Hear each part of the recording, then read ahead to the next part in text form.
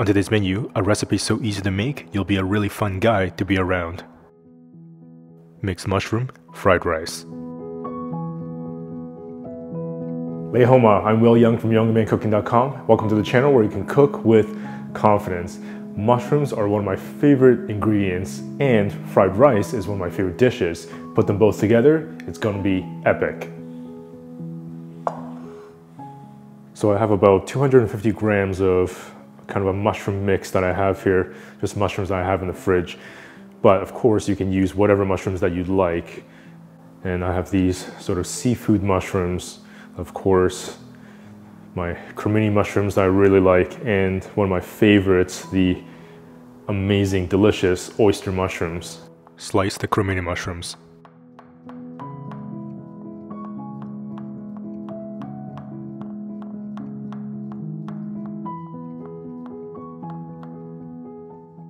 Chop down the seafood and oyster mushrooms.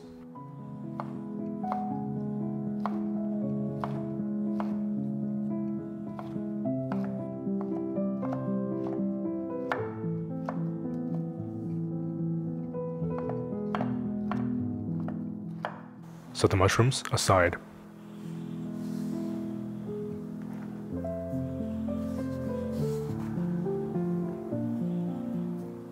Three sticks green onion, finely chopped.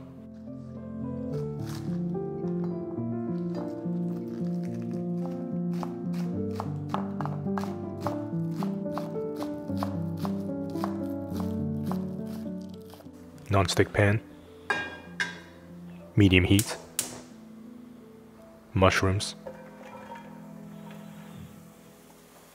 Saute the mushrooms dry for 5 to 8 minutes.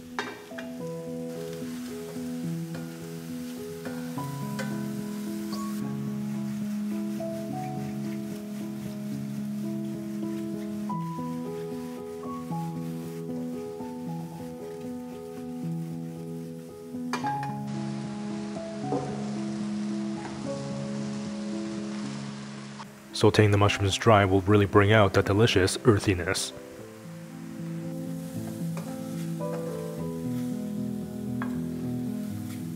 Three tablespoons olive oil. Green onion.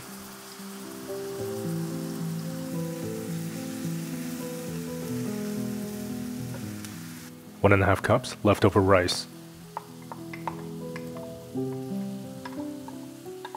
2 tablespoons soy sauce.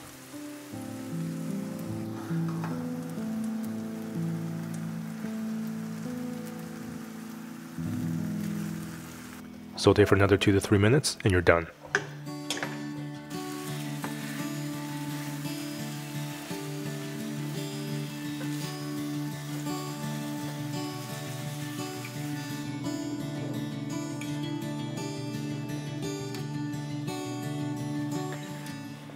Plate.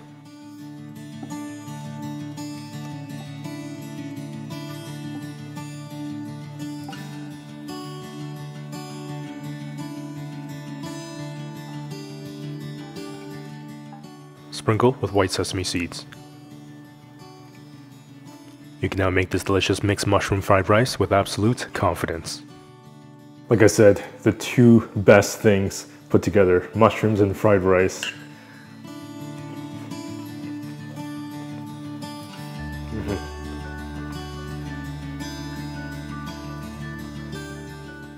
that is incredibly tasty. Man, that is so amazing. What a treat. You have the incredible, delicious earthiness from the mushrooms. And because we sauteed that dry, first we kind of caramelize the mushrooms and really brings out that extra nuttiness.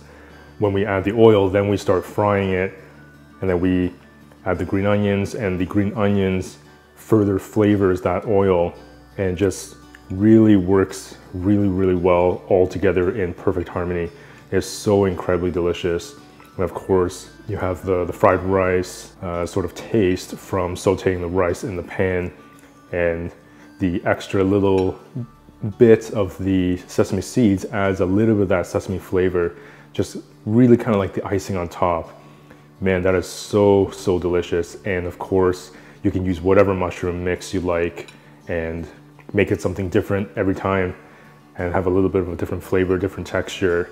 Of course, if you'd like to add some extra veggies in there, some broccoli or some chickpeas or some edamame beans or corn, you could really substantiate this and make this into an incredible, delicious, filling meal. Just that earthiness alone is so incredibly delicious. And of course, the rice just absorbs all the, the flavor, all the juices that kind of come out of the, the mushrooms. Really, really delicious and seriously just simple, humble, and phenomenal in flavor. That really is too easy not to make. Incredible. By the way, if you're new to the channel, welcome. I'm glad you're here. And if you love recipes like this, then definitely check out the link in the description box below to pick up your free ebook or watch the entire first class of the plant-based sushi making masterclass. And that is a five class series designed and curated to help you make delicious and stunning sushi right at home. That is the masterclass you'll really eat up. As always, remember to subscribe, hit that notification bell so you won't miss a single episode.